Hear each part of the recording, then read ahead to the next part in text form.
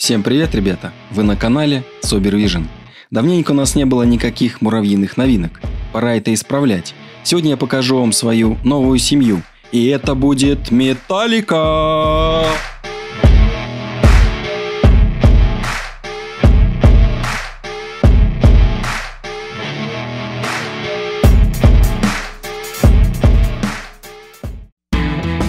Ну что, ребята, начало года – это прекрасная возможность обновить свои ряды и пополнить их новыми интересными семьями. Вот и я решил не затягивать, и поэтому прямо с начала года приобрел себе новую семью муравьев. Последнее обновление на канале было примерно год назад. Я не знал, каких муравьев в первую очередь мне приобрести, поэтому провел в голосование в телеграм-канале. Я сомневался, кого же мне все-таки взять. Я хотел приобрести либо сальтаторов, либо металлику. И поэтому решил устроить опрос. И, ребята, вы проголосовали за металлику. Поэтому сразу же, практически после опроса, я начал искать, где же можно приобрести этих муравьев. И нашел я их в магазине в голове у Мирмикипера. Это надежный проверенный магазин с большим выбором муравьев, Ссылочка на этот магазин будет в описании, поэтому переходите, посмотрите широкий ассортимент, много красивых интересных видов, различных муравьев, поэтому смело можете заказывать у этого продавца, он надежен, он проверен и Sobervision его рекомендует. Ну а тем временем я получил заветную пробирку и уже на всех парах мчался домой, чтобы посмотреть на этих муравьев поближе. Ребят, ну то, что вот сказать, что они красивые, это можно вообще ничего не, не сказать. Они просто обалденные. Они очень интересные, как внешне, так и по своему поведению. Да, они не имеют каких-то огромных размеров. Где-то длина муравья 5-7 миллиметров. Но они и не очень маленькие, ребята. Это не мелкие муравьи, типа там тех же огненных каких-то муравьев, других мелких видов. Они средних размеров. Эти муравьи обитают в Австралии. Они там распространены практически во всех штатах. И у нас этих муравьев сравнивают с лазиус нигер, которые также у нас повсеместно распространены. Раньше их относили к панеринам. Сейчас, насколько я знаю, это отдельный род муравьев, ретида панера. И, ребят, эти муравьи просто имеют обалденную окраску. Она такая зеленоватая, с сине-зеленым каким-то отливом, но смотрится очень обалденно. Раскраску имеет голова, туловище и верхняя часть брюшка. И посмотрите, ребята, сколько муравьев у меня в пробирке. Их здесь, я не знаю, тяжело посчитать, ну точно где-то около 60-80, а может и все 100 муравьев. В пробирке я также, насколько смог увидеть, Посмотрел, что есть один кокон и несколько крупных пакет с яйцами. Есть ли в этой семье матка или нет, сказать сложно, потому что матки у этих семей абсолютно ничем не отличаются от рабочих. Ну и в чем плюс еще у этой семьи? В том, что любой рабочий может стать яйцекладущим гомергатом. Надеюсь, что все-таки либо маточка, либо яйцекладущий гомергат может оказаться в этой семье. Ну а как же их кормить? Ребята, вы же видите, что в этой пробирке целая куча муравьев. Как только я выну ватку, сразу они побегут 100% искать для себя новое пространство – Поэтому я подготовил сразу придавленного тараканчика, открыл ватку и как пробку туда запихнул быстро-быстро этого таракана. И около 5-6 муравьев сразу на него накинулись. Но они накинулись не только на него, они накинулись и на ватку. Они почувствовали, что отсюда можно расширять свои пространства и начали активно-активно ее грызть и пытаться преодолеть это затруднение для того, чтобы расширить свои пространства. Ну а те 5-6 муравьев, которые все-таки решили покушать, активно начали поглощать те части внутренней таракана, которые выделились на поверхность после того, как я этого таракана придавил. Питание, я хочу сказать, отменное. Не видел я, конечно, чтобы они его жалили, а эти малыши обладают и жалом, и ядом. Пока укус, слава богу, я на себе не проверял. Особо, конечно-то и не хочется. Но если это получится, то я вам расскажу, что же все-таки за ощущение, когда вас кусают эти муравьи. Меня кусали и огненные муравьи, и недавно укусили капканчики, поэтому есть чем сравнивать. Конечно же, на съемку прибежал кот Лео, который активно начал изучать новых членов нашей семьи. Он улегся возле пробирки, начал заниматься какими-то своими делами, ну и, конечно, интересовался новыми муравьями – ведь это не просто муравьи, это просто обалденно супер красивая металлика. Ребята, ну и у меня возник вопрос, Куда же заселять этих муравьев?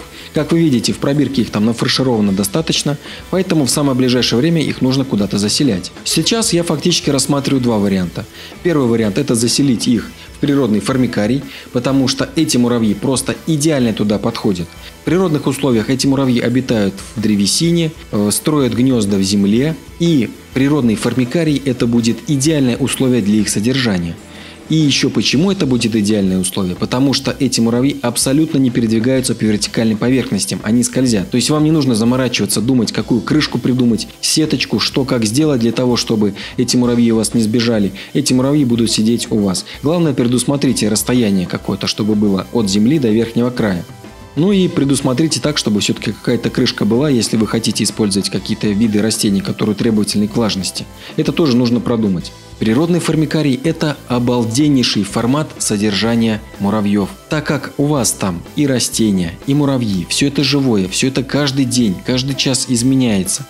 Вы можете наблюдать их и вы можете залипать, сидеть часами, смотря на то, как муравьи там охотятся, добывают пищу, занимаются своими делами. Но единственный минус, который в природном формикарии есть, это вы не увидите, как муравьи ухаживают за своим потомством, как они себя чувствуют внутри гнезда. Хотя, ребята, если все хорошо продумать, то в принципе можно, можно сделать гнездо, которое у вас будет выходить к одной из стенок формикария и надеяться на то, что муравьи туда заселятся и будут там жить.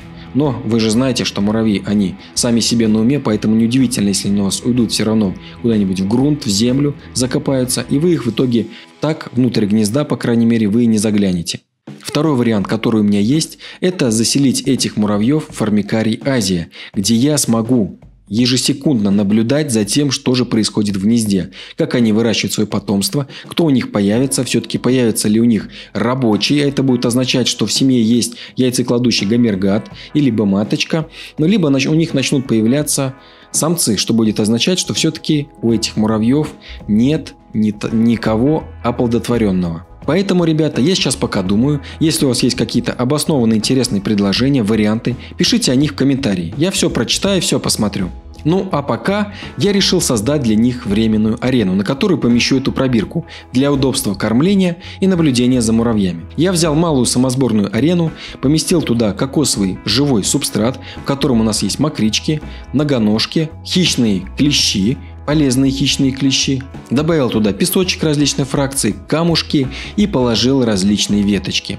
В целом особо не заморачивался, не накладывал большой слой, чтобы можно было наблюдать за нашими муравьями, которые бы никуда не убежали из пробирки и не помышляли бы закопаться в грунт. Ну что, в принципе, малую самосборную арену для этих муравьев я подготовил, временную, положил пробирку на арену и открыл ватку. Ребята, и эти муравьи, они просто моментально приступили к освоению нового пространства. Они, ну, наверное, по скорости заселения являются одними из лидеров среди тех муравьев, которых я содержал. Они реально очень быстро, без особого страха и сомнения, побежали осваивать новые пространства. Ребят, ну я был очень офигенно удивлен тому, что действительно эти муравьи абсолютно не передвигаются по вертикальным поверхностям. Их лапки скользят, они пытаются, пытаются, пытаются, ничего у них не получается, и поэтому эти муравьи никуда у вас не убегут. Абсолютно можно не заморачиваться ни с какими крышками, ни с какими там антипобегами эти муравьи будут находиться у вас на арене и никуда оттуда не сбегут. После того, как я открыл пробирку, я мог не волноваться о том, что тем тараканам, которых я покормил, он может испортиться.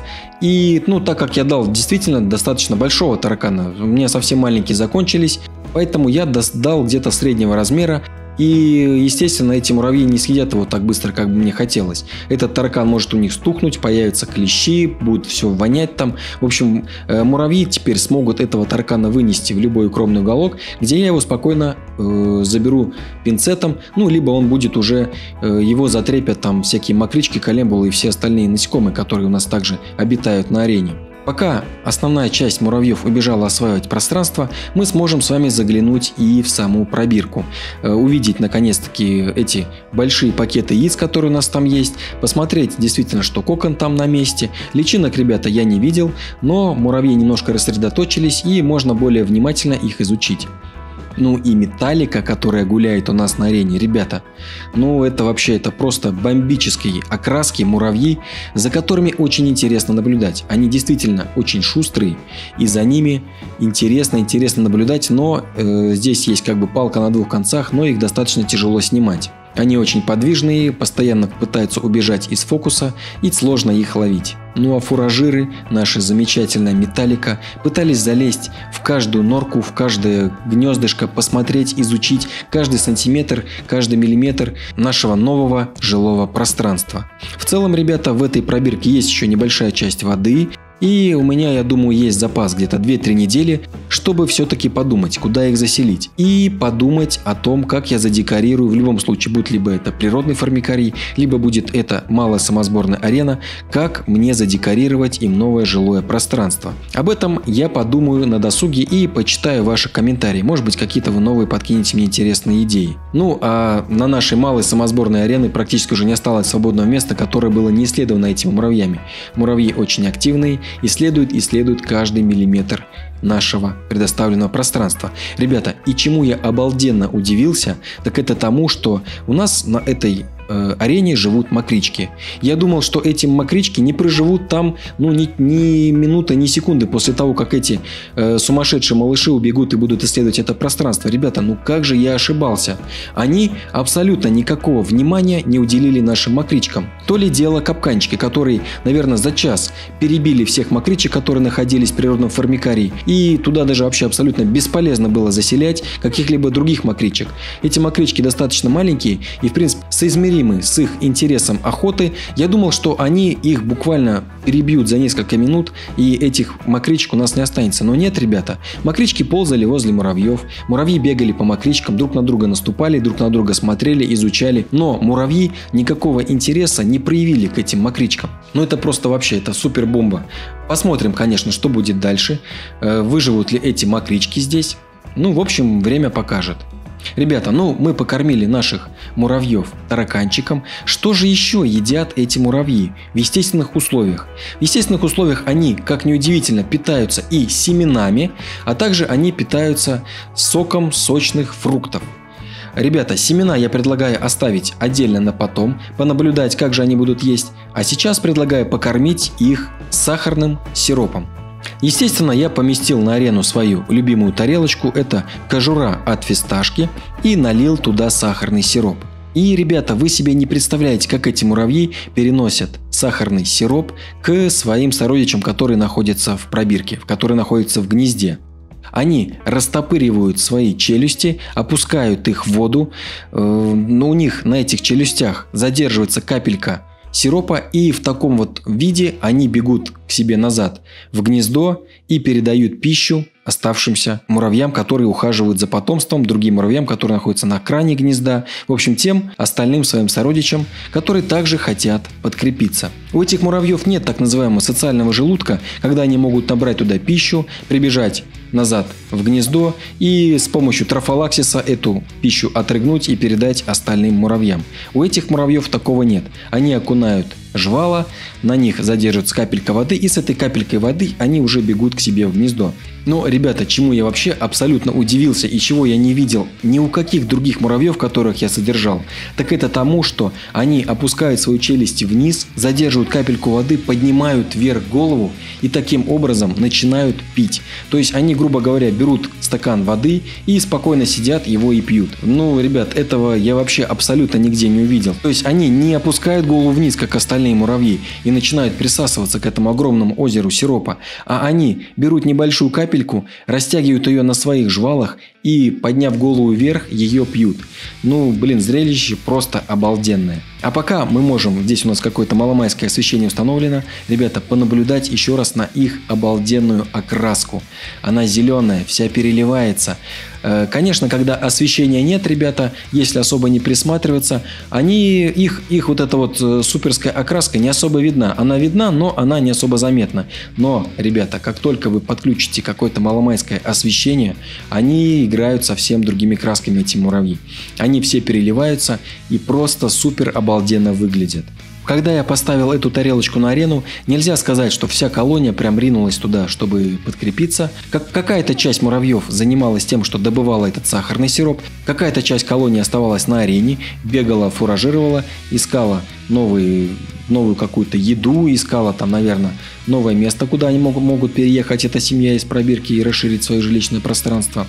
Ну, а какая-то часть как раз-таки занималась тем, что добывал этот сахарный сироп. В целом вы можете увидеть в пробирке, что осталось от нашего таракана. От него где-то осталась половинка. Надеюсь, что в ближайшее время они все-таки вынесут его на арену, не дадут, не допустят того, что этот таракан у них стухнет пробирке, появятся какие-то вредные клещи, и у нас возникнут дополнительные проблемы. Надеюсь, все-таки они чистоплотные и вынесут этих тараканов. А те, кто содержал металлику, ребята, напишите мне, пожалуйста, действительно эти муравьи чистоплотные или эти муравьи хрюшки. И они будут оставлять в гнезде и остатки тараканов, и остатки другой еды, и тем самым провоцируя появление различных вредных паразитов.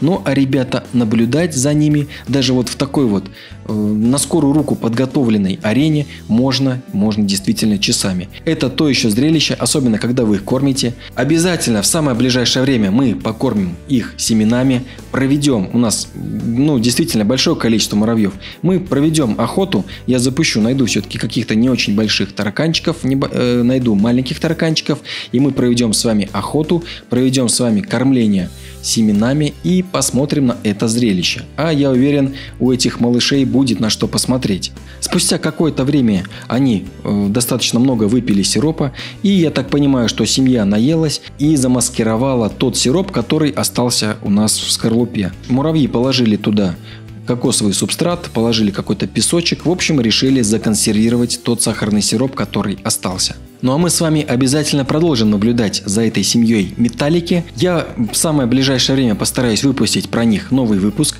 Но это не все, ребята. У нас на канале появится также еще несколько видов муравьев, о которых я вам расскажу в самое ближайшее время. Не забывайте, ребятушки, подписаться на канал, поставить лайк этому видео, нажать на колокольчик, чтобы не пропустить новые ролики, которые, я надеюсь, будут выходить более-менее систематически. Не обещаю, что прям каждую неделю, каждый день они будут выходить. Я надеюсь, что как минимум раз в две недели будет выходить новое видео на канале. Я буду пробовать различные другие новые форматы, например, форматы видеоблогов, которых можно снимать чаще, рассказывать вам о каких-то повседневных особенностях уходов за муравьев, не только за муравьев, за акваформией, формикарием, за природным формикарием, за растениями другими различными, за тем же Лео. В общем, стараюсь разнообразить как-то наш контент, рассказывать вам больше интересной информации. Не забывайте, что у нас появился телеграм-канал, куда я прямо в режиме онлайн стараюсь закинуть самую новую, самую актуальную и интересную информацию. Подписывайтесь на канал. Всем спасибо за просмотр и всем пока!